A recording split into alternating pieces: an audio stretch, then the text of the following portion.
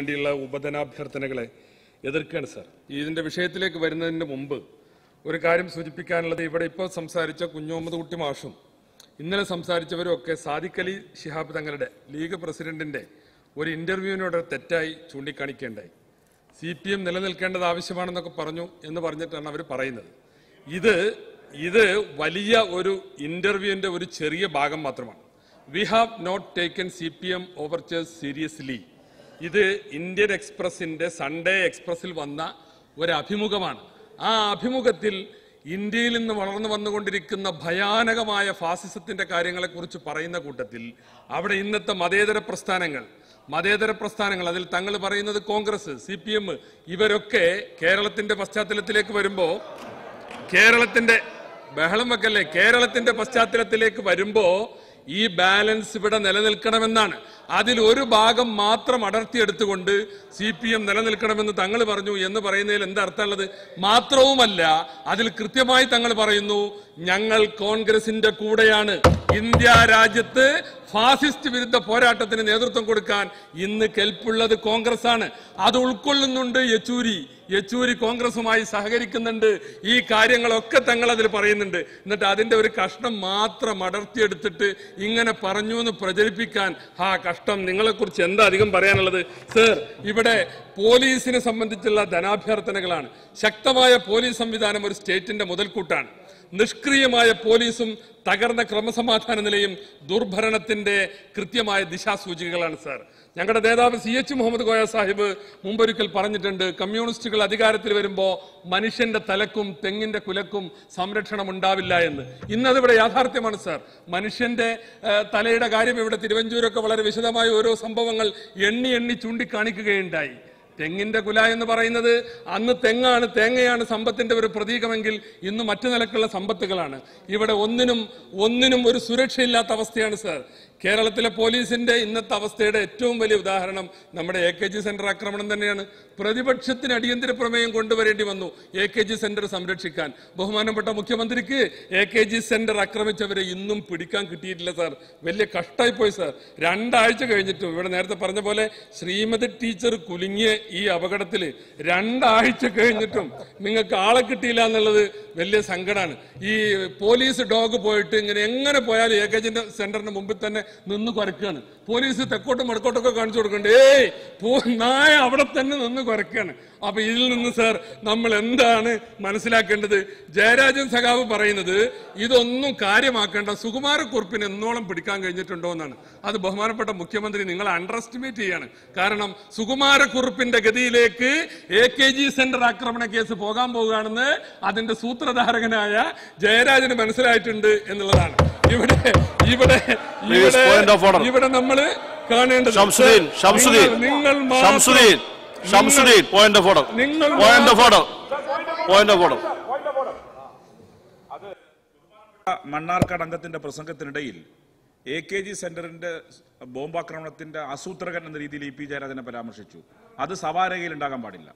മുന്നൂറ്റിയേഴ് പ്രകാരം ക്രമപ്രശ്നമാണ്. മുന്നൂറ്റി മൂന്ന്. ഉയർത്തിക്കുന്നു. മുന്നൂറ്റിയേഴ് പ്രകാരം എക്സ്പെൻഡ് ചെയ്യണം. നടപടി സ്വീകരിക്കും.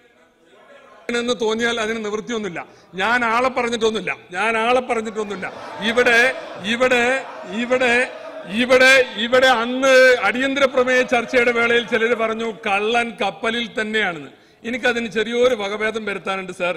കള്ളൻ കമ്മിറ്റിയിൽ തന്നെയാണ് എന്നാണ് അക്കാര്യത്തെ കുറിച്ച് എനിക്ക് സൂചിപ്പിക്കാനുള്ളത് സാർ. ഇതുപോലെ പോലീസിന്റെ കഴിവുകേടുകളുടെ എത്രയോ ചിത്രങ്ങൾ പോലീസിന്റെ ജനാഭ്യർത്ഥനയാണ് നമ്മുടെ മുമ്പിലുണ്ട് സാർ.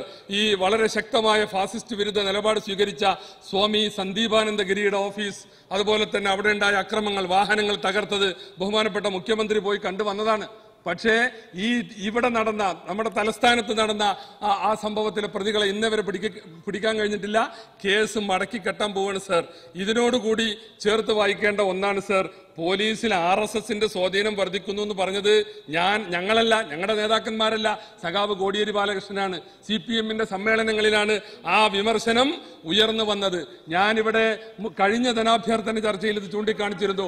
കേരളത്തിലെ പോലീസ് കേരളത്തിലെ പോലീസ് വംശീയമായി പെരുമാറുന്നു എന്ന് അന്ന് ഞങ്ങൾ വിമർശിച്ചിരുന്നു. ഞാൻ അന്ന് വിമർശിക്കാനുള്ള കാരണം തൃശൂർ പോലീസ് അക്കാദമിയിൽ സുരേഷ് രാജ് പുരോഹിത് പറഞ്ഞു ഇവിടെ ബീഫ് വിളമ്പാൻ പാടില്ല എന്ന് ബീഫ് ആർക്കെങ്കിലും വളരെ പ്രധാനപ്പെട്ട ഒരു ഭക്ഷണമായിട്ടല്ല പക്ഷെ അന്നൊരു നിലപാടായിരുന്നു അത്.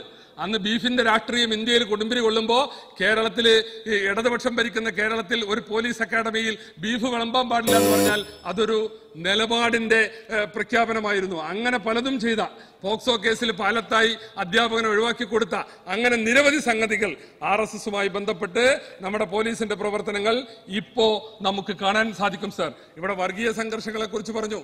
പാലക്കാട്ടും ആലപ്പുഴയിലും ഉണ്ടായ രണ്ട് വർഗീയ സംഘർഷങ്ങളിലും പോലീസിന്റെ അനാസ്ഥ പ്രകടമാണ്. ആ രണ്ട് കൊലപാതകങ്ങളും തടയാൻ പോലീസ് ശക്തമായിരുന്നുവെങ്കിൽ കഴിയുമായിരുന്നു. അപ്പോൾ വർഗീയവാദികൾ അഴിഞ്ഞാടിയത് പോലീസിന്റെ നിഷ്ക്രിയത്വത്തിലൂടെ തന്നെയാണ് എന്ന് പറയണം സാർ. എന്നാൽ ചില കാര്യത്തിൽ പോലീസ് ഓവർ സ്മാർട്ടാണ്. ഈ സ്വപ്നയുടെ വെളിപ്പെടുത്തലിനെ തുടർന്ന് ജലീൽ ഒരു പരാതി ബഹുമാനപ്പെട്ട മുൻ മന്ത്രി ജലീൽ ഒരു പരാതി കൊടുത്തപ്പോൾ പോലീസ് എടുത്ത കേസ് രാജ്യത്തെ ക്രിമിനൽ നിയമങ്ങൾ ഏതടിസ്ഥാനത്തിൽ വ്യാഖ്യാനിച്ചാലും ആ ഒരു കേസിന് നിലനിൽപ്പില്ല സാർ. ഒരു ഒരു പത്രപ്രസ്താവന കൊടുത്തതിന് ഒരാളുടെ പേരിൽ നാട്ടിൽ കലാപമുണ്ടാക്കാൻ ഗൂഢാലോചന നടത്തി എന്ന് പറഞ്ഞിട്ടാണ് എന്ന് പറഞ്ഞിട്ടാണ് നിങ്ങൾ കേസെടുത്തത്. കേരയിൽ സമരക്കാരോട് പോലീസ് കാട്ടിക്കൂട്ടിയ കോപ്രായ എന്താ? എന്താ നിങ്ങൾ അവസാനം തീരുമാനിച്ച് കുറ്റിയിടേണ്ടതില്ല. കുറ്റിയിടാതെയും സർവേ നടത്താമെന്നാണ് അപ്പൊ ഈ സമരക്കാർക്കെതിരെ നിങ്ങളെടുത്ത ഈ കേസുകൾ എന്ത് ചെയ്യും? നൂറോളം കേസുകൾ എടുത്തു.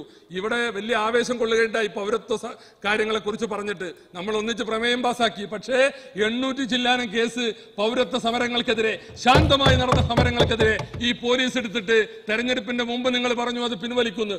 മുപ്പത് കേസിൽ താഴെയാണ് ഈ ദിവസം വരെ പിൻവലിച്ചിട്ടുള്ളത്. അപ്പൊ പൗരത്വ കേസിന്റെ കാര്യത്തിൽ അവിടെയും പോലീസ് പോലീസിലെ ആർ എസ് എസ് സമീപനമാണ് സർ നമുക്ക് കാണാൻ സാധിച്ചത്. സമയക്കുറവുകൊണ്ട് ഞാൻ അതിലേക്കൊന്നും പോകുന്നില്ല. നമ്മുടെ ജയിലുകളുടെ സ്ഥിതി എന്താ? വന്ന കണക്കുകൾ എന്താ സി പി എം ബന്ധമുള്ള ക്രിമിനലുകൾക്ക് ജയിലിൽ ഫൈവ് സ്റ്റാർ ഫെസിലിറ്റിയാണ്.